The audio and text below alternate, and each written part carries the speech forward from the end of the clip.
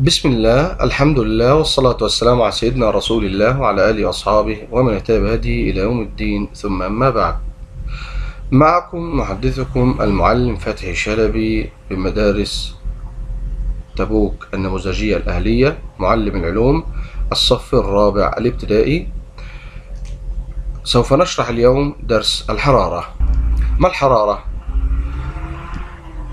الحرارة هي انتقال الطاقة الحرارية من جسم لآخر. طبعا الحرارة هي انتقال الطاقة الحرارية من جسم لآخر. الحرارة دائما تنتقل من الجسم الساخن إلى الجسم البارد. يعني عندي مثلا وليكن آه آه مثلا وليكن إيه محمصة الخبز.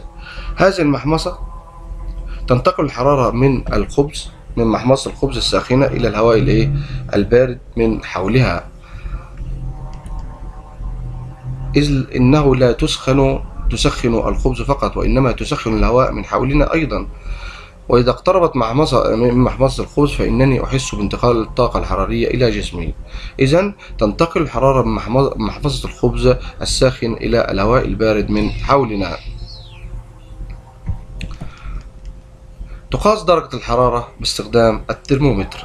طبعا هناك أنواع للترمومترات هناك ترمومتر للغرفة. يقيس درجة حرارة الغرفة وهناك ترمومتر يقيس درجة حرارة السوائل وهناك ترمومتر يقيس درجة حرارة الإيه؟ الطبية ترمومتر طبي. طبعا ما ينفعش ان أنا أجيب درجة حرارة ترمومتر السوائل الغرفة أو الترمومتر الطبي وأضعه في السوائل الساخنة فإنه إيه؟ ينكسر. الترمومتر هذا فيه طبعا زي ما إحنا شايفين قدامنا بيقيس درجة الحرارة وطبعا بيبقى فيه كحول أو إيه أو زئبق. هذا الكحول أو الزئبق بيتمدد بالحرارة وينكمش بالبرودة.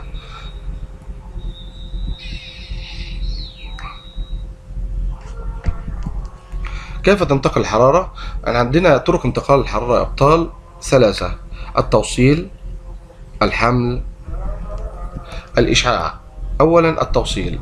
التوصيل لو في الشكل الذي أمامي هناك لهب وعملة عملة حديدية مسطرة حديدية. عند انتقال الحرارة من الجسم الساخن وهو اللهب ف واقتراب قطعة الحديد إلى اللهب فإنك طبعا إيه اللي يحصل؟ ها هتحس بالحرارة. نتيجة انتقال الطاقة الحرارية من الجسم الساخن إلى الجسم الإيه؟ البارد.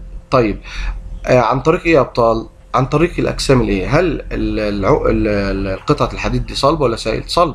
اذا تنتقل الحرارة خلال الأجسام الصلبة عبر التوصيل. يبقى اذا المواد الصلبة هي اللي بتسخن إيه؟ أه تسخن بالتوصيل حيث يحدث أه ذلك عند تلامس هذين الجسمين معا. فتنتقل الحرارة من الجسم الساخن للجسم الإيه؟ البارد. الحمل الحمل هو طبعا انتقال الحرارة خلال الوسط الغازي والسائل. طبعا آه لو جينا نشوف الحمل الحر... الحمل الحراري بينقل الحرارة خلال الوسط الغازي والسائل طيب سؤال يا أبطال لماذا توضع. يوضع الفريزر في أعلى الثلاجه آه لا أحسنتم لأن الفريزر طبعا بي... بيطلع بيخرج هواء باردا والهواء البارد ثقيل فيهبط إلى أسفل. طيب سؤال آخر. لماذا آه تضع نضع المدفأة في أرضية الحجرة؟ لأن الهواء لأن المدفأة تخرج هواء ساخنا والهواء الساخن إيه؟ يصعد خفيف فيصعد إلى أعلى بكل ده عن طريق الإيه؟ الحمل الحراري. ثالثا الإشعاع الإشعاع طبعا إحنا عندنا آه الإشعاع بينتقل من الجسم الساخن إلى الوسط المحيط. يعني الجسم الساخن لو وقفت في أشعة الشمس هل أنا الوحيد اللي أحس بها ولا كل اللي كل الموجودين ممكن يحسوا بها آه يبقى تنتقل الحراره جميعها مش على لحالي لا من الجسم الساخن إلى الجسم الإيه؟ البارد. طيب عندي ننتقل إلى المواد الموصلة والمواد العازلة للحرارة. طبعا في الشتاء أرتدي سترة من الصوف لتبقي جسمي دافئا. الدب ربنا خلقه طبعا في دهون عشان يعزل الحرارة. من الهواء البارد. يبقى المواد العازلة لا تنقل الحرارة بشكل جيد. هناك إبريق هذا الإبريق الشاي المصنوع من النحاس موصل جيد لتسخين السوائل. إذا المواد الموصلة بتنقل الحرارة بسهولة. ننتقل إلى كيف تتغير الحرارة؟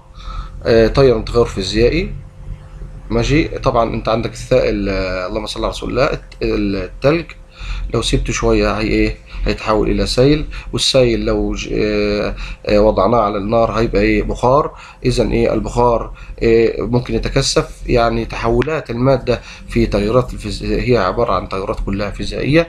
آه، برضو التغيرات الكيميائية ال- أي اشتعال أي لهب أي اشتعال ورقة اشتعال صدأ حديد كل ده تغيرات إيه كيميائية.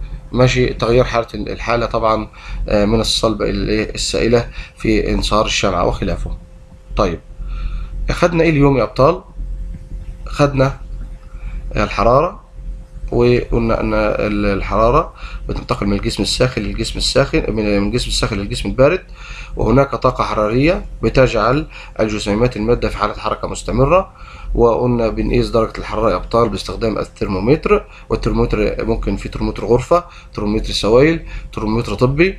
وما ينفعش ترمومترات السوائل أو الطبي آه، ال- ال- الترمومتر الغرفة أو أو الطبي ما ينفعش إن أنا أحط أضع فيه الايه الساخن الماء الساخن مثلا ينفجر وقلنا إن في كحول أو زئبق هو اللي بيتح- بيحول بيتمدد في الترمومتر بيتمدد بالحرارة وينكمش بالبروده وخدنا بعد كده يا أبطال كيف تنتقل الحرارة إما التوص- التوصيل عن طريق الأجسام الصلبة ال- الحمل أو الاشعاع عن الحمل عن طريق الإيه؟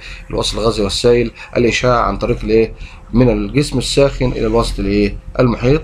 خدنا بعد كده طبعا كيف تغير الحرارة تغيرات فيزيائية وتغيرات كيميائية وتغيرات حالة المادة وهناك المواد الموصلة والعازلة للحرارة. وكان معكم محدثكم المعلم فتحي شلبي الصف الرابع درس الحرارة. والسلام عليكم ورحمة الله تعالى وبركاته.